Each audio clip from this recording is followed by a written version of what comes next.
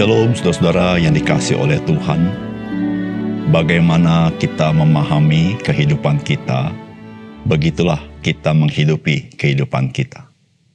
Firman Tuhan mengajar kepada kita bahwa hidup kita setiap hari adalah di hadapan Tuhan.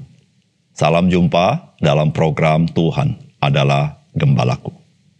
Saudara, kehidupan kita sudah dibiasakan sebagai sebuah kehidupan yang terbagi-bagi.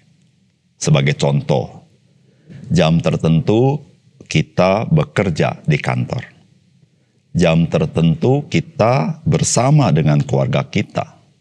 Hari tertentu dan jam tertentu kita bersama dengan Tuhan. Misalnya kita ibadah atau kita bersaat teduh. Hari tertentu dan jam tertentu kita sedang bersama dengan teman-teman kita. Dan masih banyak lagi yang lain. Jadi dengan siapa kita sediakan waktu, ya kehidupan kita terbagi seperti itu. Oleh karena itu, pada setiap area hidup kita, kita mempunyai tujuannya masing-masing. Hal itu tentu sama sekali tidak salah. Namun itulah yang kita perbuat kepada Tuhan bukan? Kita menyediakan waktu bagi Tuhan dari jam sekian sampai jam sekian. Yang lain saya bagi dengan orang lain. Apakah itu konsep kita sebagai orang percaya terhadap Tuhan? Saudara mari kita membaca satu Tawari pasal 16 ayat 37 sampai 43. Lalu Daud meninggalkan di sana di hadapan tabut perjanjian Tuhan itu Asaf dan saudara-saudara sepuaknya untuk tetap melayani di hadapan tabut itu seperti yang patut dilakukan setiap hari. Juga Obed Edom dan saudara-saudara sepuaknya yang 68 orang itu. Obed Edom bin Yedutun dan Hosa adalah penunggu-penunggu pintu gerbang. Tetapi Zadok imam itu dan saudara-saudara sepuaknya, para imam, ditinggalkannya di hadapan kemah suci Tuhan di bukit pengorbanan yang di Gibeon. Supaya pagi dan petang tetap mempersembahkan korban bakaran kepada Tuhan di atas mesbah korban bakaran. Dan supaya dikerjakan segala yang tertulis dalam Taurat Tuhan yang diperintahkannya kepada orang Israel. Dan bersama-sama mereka ikut Heman dan Yedutun dan selebihnya dari orang-orang yang terpilih yang ditunjuk dengan disebut namanya untuk menyanyikan syukur bagi Tuhan bahwasanya untuk selama-lamanya kasih setianya. Pada Heman dan Yedutun itu ada nafiri dan ceracap untuk para pemain juga alat-alat musik pengiring nyanyian untuk Allah. Dan anak-anak Yedutun harus menjaga pintu gerbang. Sesudah itu pergilah seluruh bangsa itu masing-masing ke rumahnya dan Daud pulang untuk memberi salam kepada seisi rumahnya. Saudara yang dikasih oleh Tuhan, Raja Daud bukan saja menempatkan tabut perjanjian di kota Yerusalem dan mengadakan perayaan pada saat penempatan tabut perjanjian. Namun Raja Daud memelihara kelanjutan kehidupan yang berpusat kepada Tuhan. Dan hal inilah yang kita baca dari firman Tuhan. Saudara, apakah pesan firman Tuhan bagi kita?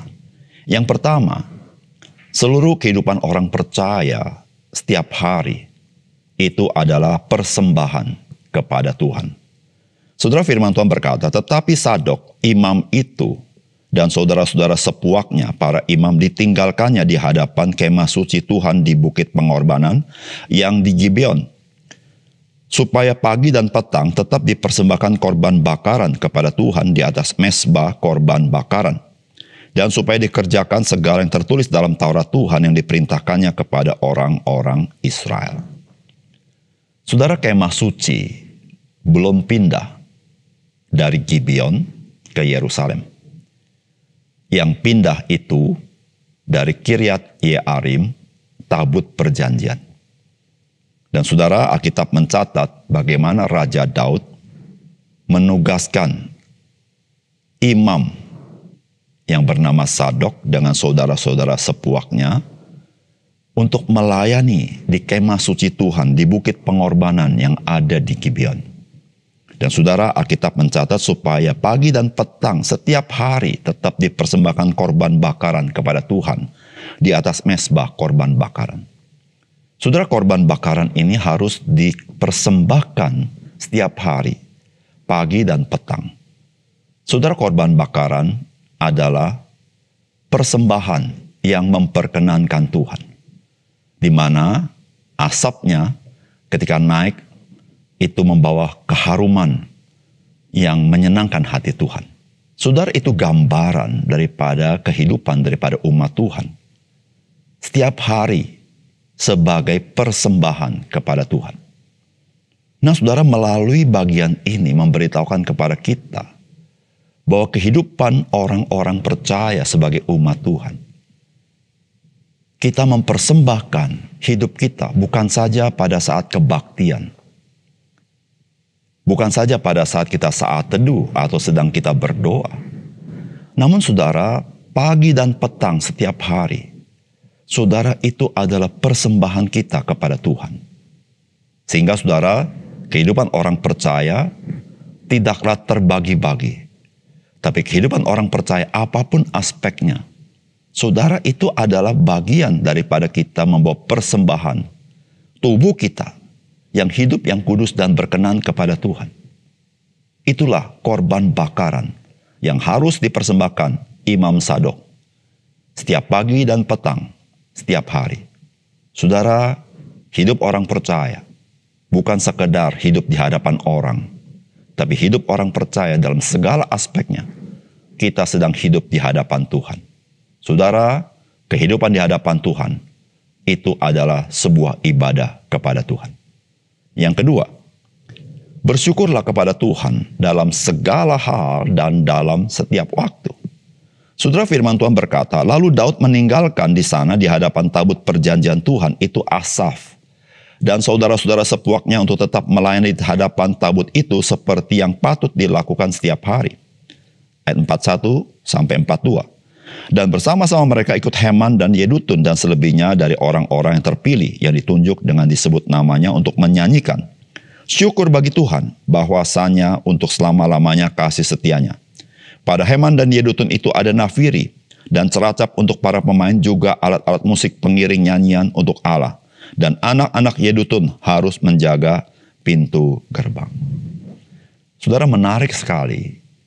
Raja Daud bukan saja menugaskan Sadok sebagai imam membawa kurban bakaran setiap hari pagi dan petang, tetapi Raja Daud juga menugaskan Asaf dan saudara-saudaranya. Mereka adalah orang-orang yang menyanyi bagi Tuhan. Saudara, mereka harus menjalankan tugasnya menyanyi bagi Tuhan dan kata-kata lagunya itu adalah syukur bagi Tuhan bahwasanya untuk selama-lamanya kasih setianya. Saudara, apa sebetulnya yang sedang dilakukan oleh Raja Daud di hadapan Tuhan? Saudara, ini sebuah gambaran dari apa yang diajarkan firman Tuhan bahwa kita harus mengucap syukur senantiasa dalam segala hal, dalam segala waktu, setiap hari kita harus membawa korban syukur kepada Tuhan. Saudara itulah yang digambarkan di dalam perjanjian lama. Gambarannya adalah sifatnya fisikal, yaitu mereka bertugas menyanyikan syukur bagi Tuhan. Tetapi mempunyai pesan rohani yang kuat bahwa umat Tuhan adalah umat yang memuji Tuhan. Umat Tuhan adalah umat yang bersyukur kepada Tuhan. Dan lebih daripada itu, umat Tuhan adalah umat yang mewartakan akan kasih setia Tuhan di tengah-tengah dunia ini. Saudara yang dikasih oleh Tuhan. Kita adalah orang-orang percaya. Pastilah kita pernah bersyukur. Namun saudara, mengucap syukur. Di dalam ajaran firman Tuhan, bukan sekali-sekali, tetapi setiap waktu, dalam setiap hal, kita mengucap syukur. Karena kita mengenal Kristus dalam hidup kita, dan Kristus itulah memberikan kepada kita kesadaran hidup kita adalah kasih karunia Tuhan. Saudara, kasih karunia itu, saudara, bukan tergantung kepada kita, tetapi tergantung kepada pemberian Allah. Dan kita mengenal Allah yang memberikan anaknya. Dan apatah yang dia tidak berikan jikalau dia telah memberikan anak yang tunggal untuk mati bagi kita. Maka itu saudara, mari kita belajar bersyukur dalam segala hal, dalam setiap waktu, dan setiap hari. Mari kita berdoa. Bapak surga terima kasih untuk pesan firman Tuhan yang sangat indah yang kami pelajari dari perjanjian lama ini yang menolong kami untuk menyadari apa yang Tuhan kendaki dalam hidup kami. Sehingga kami mempunyai cara pikir apa yang Alkitab ajarkan sehingga kami hidup sesuai dengan rencana Tuhan. Terima kasih Tuhan dalam nama Tuhan Yesus kami berdoa. Amin.